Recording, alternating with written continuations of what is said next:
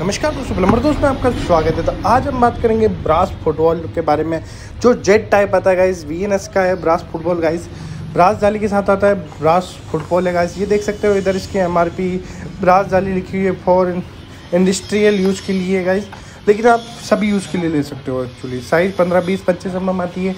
ये एक इंची पच्चीस एम का है गाइस यहाँ इंच मैनुफैक्चरिंग डेट वगैरह सेम चीज़ें लिखी हुई है।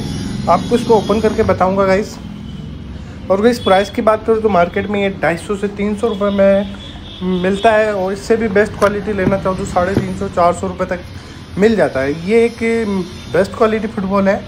अच्छी क्वालिटी का फुटबॉल है। ना इसमें एयर निकलती है, ना इसमें एयर निकलने के चांसेस होते हैं। सबसे अच्छी बात लगी, अगर आप प्लास्टिक का फुटबॉल लगाते हो ना, वहाँ उसकी जाली प्लास्टिक वगैरह आके आती है, इस टाइप की, लेकिन इसमें ब्रास जाली है और गाइस ब्रास जाली के साथ ब्रास फुटबॉल एयर नहीं लेते, सबसे अच्छी बात है।